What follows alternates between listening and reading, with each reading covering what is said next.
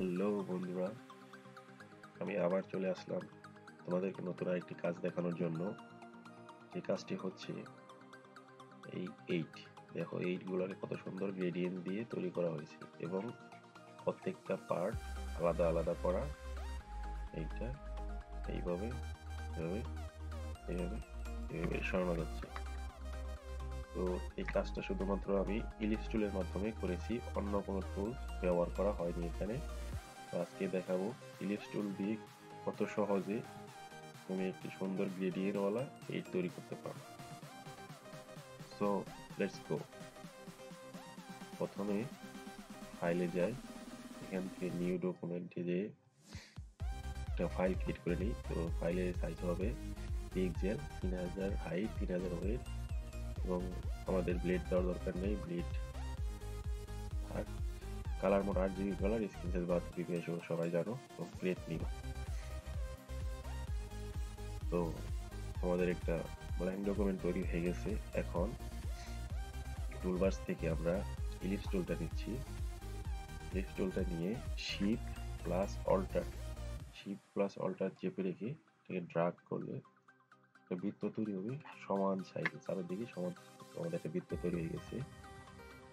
এখন এই বৃত্তটাকে সিলেক্ট করে এটাকে সিলেক্ট করে নিতে হবে। তো এর আগে আমার কিছু একটা কাজ আছে যেটা দেখে নিই। আমরা ভিউতে যাব। এখানে যাওয়ার পরে আমাদের স্মার্ট ভিডিয়েন্স অন থাকবে এবং আমাদের স্ন্যাপ টু পিকজেলও অন থাকবে। স্ন্যাপ টু পয়েন্টটা অফ করে দেব। ওকে অফ করে দিচ্ছি। তো এটা ক্লিক করলাম।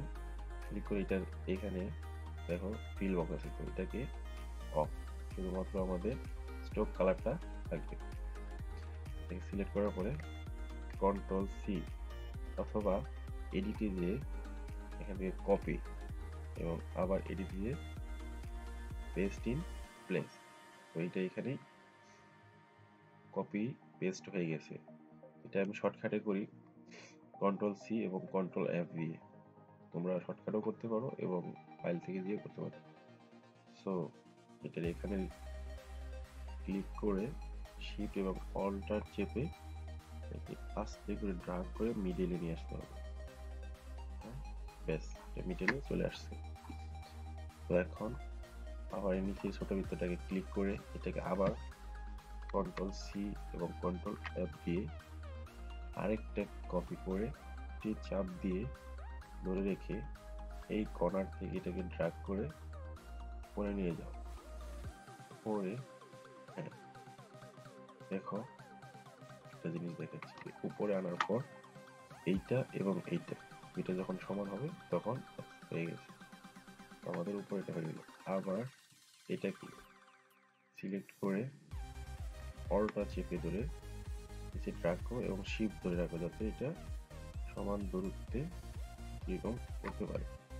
তো আবার জুম করে দেখে নিই আমরা যে হ্যাঁ আমাদের এটা ঠিক আছে? হ্যাঁ ঠিক আছে। তো আমাদের ঠিক আছে।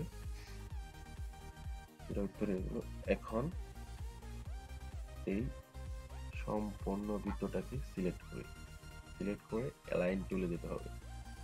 তো অ্যালাইন টুল যদি এখানে না থাকে উইন্ডোজ এখানে দেখো লেখা আছে লাইন অ্যালাইন টুল সে বলছে।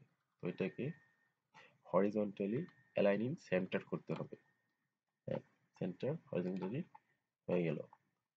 এখন এখান থেকে আরেকটা এই বৃত্তকে সিলেক্ট করে অল্টার প্রেস করে আরেকটা কপি নিয়ে নিব।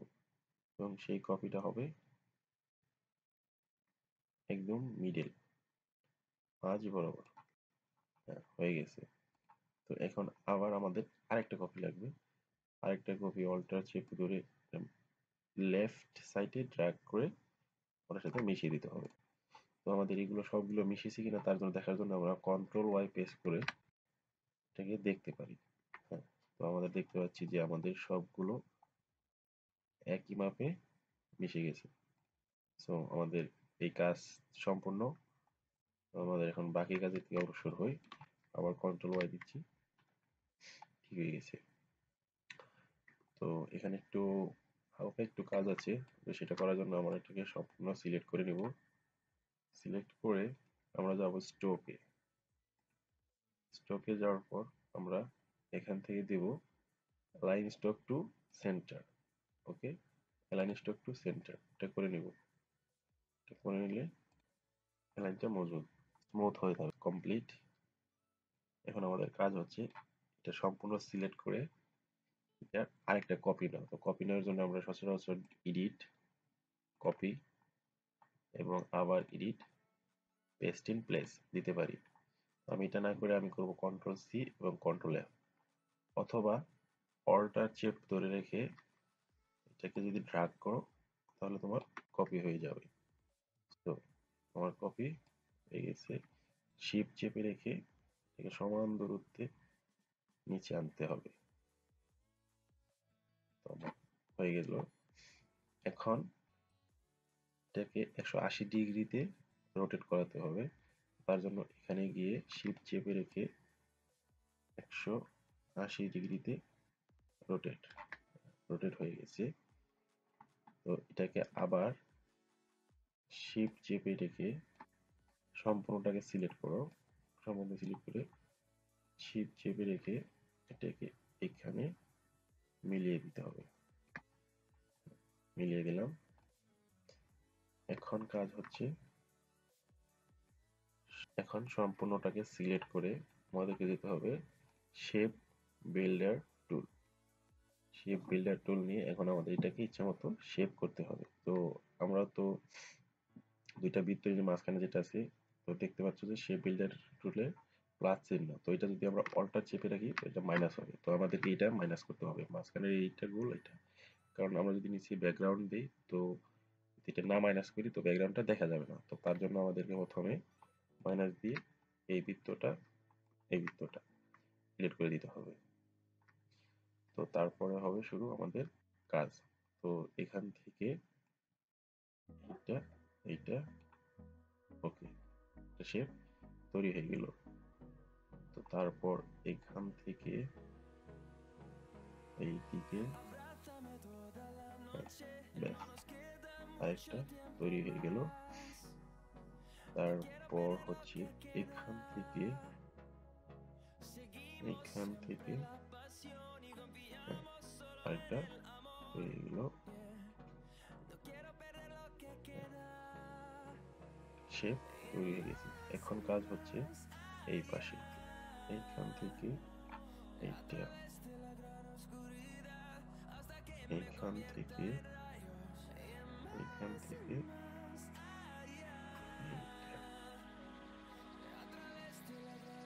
কিন্তু থেকে ড্রাগ করে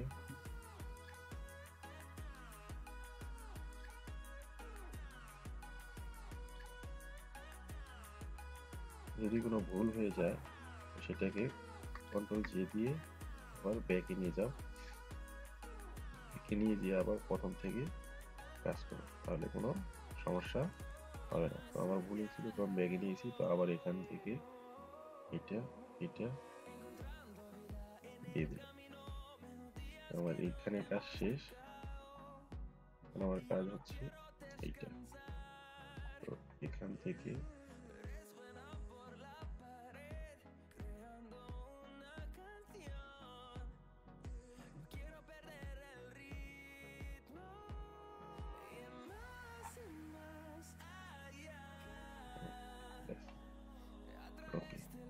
এটা কমপ্লিট এখন আমি এটা স্টোক কালারকে ফিল কালার করে দিচ্ছি।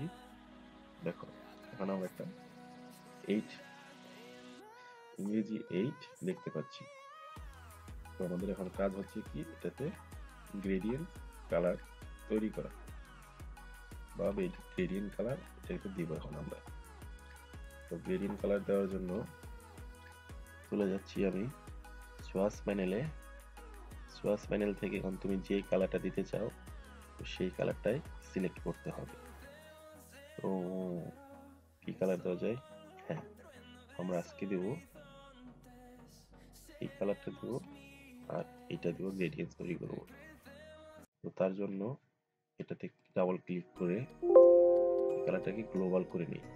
এটাকে গ্লোবাল করে নিলে এই কালারটা আমরা চেঞ্জ করতে পারব। সেটা তোমাদের পরে দেখানো হবে। তো এটাকে গ্লোবাল এবং এটাকে ডাবল ক্লিক করে এটাকেও গ্লোবাল করে নিলাম।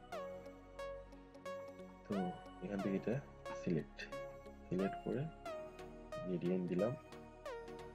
এখানে এসে এখান থেকে এটা সিলেক্ট এবং এখান থেকে এটা সিলেক্ট আমাদের গ্রেডিয়েন্ট সিলেক্ট হয়ে গেছে তো এটাকে আমরা রেডিয়াল করে দিচ্ছি।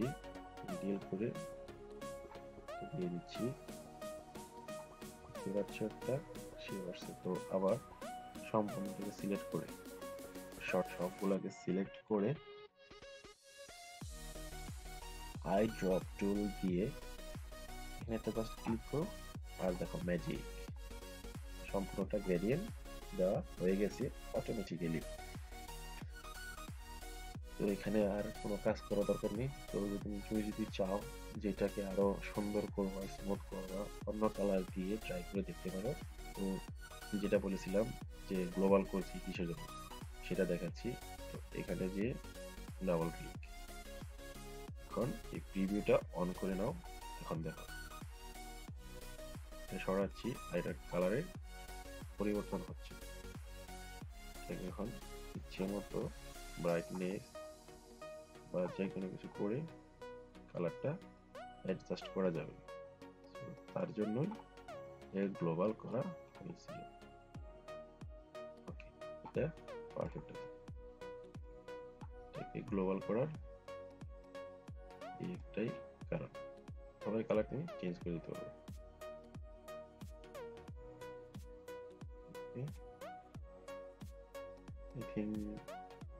এটাই বেস্ট আছে। বেশি ওকে তো তৈরি হয়ে আমাদের একটা গ্রেডিয়েন্ট ওয়ালা এইট অত সহজে তৈরি করতে পারলাম না। তো এটাকে সেভ করার সেই পুরাতন নিয়ম ফাইলে যাও এক্সপোর্ট দাও এক্সপোর্ট এস এক্সপোর্ট এস দিয়ে তুমি পিএনজি জেপিজি যে কোনো ফরম্যাটে ইউজ করতে পারো। তো আমি জেপিজি দিয়ে নাম দিয়ে দিলাম এইট এইট সেভেন করো ওকে আমার ডেস্কটপে এক্সপোর্ট জিবি ওকে তো সেভ হয়ে গেল আমার ডেস্কটপে মিনিমাইজ করে আমাদেরকে দেখাচ্ছি তৈরি হয়ে গেল সুন্দর একটা এই তোমরা ট্রাই করো কোনো সমস্যা থাকলে নিচে কমেন্ট করে জানাও এবং আমার ভিডিওটাকে একটু শেয়ার করো, যাতে আমার সাবস্ক্রাইবার বাড়তে পারে। এবং সামনে আরও নতুন নতুন আরও অনেক সুন্দর ক্লাস নিয়ে আমি আসি নব বাংলাতে। আশা করি তোমরা সবাই আমার সাথে থাকবে। সবাইকে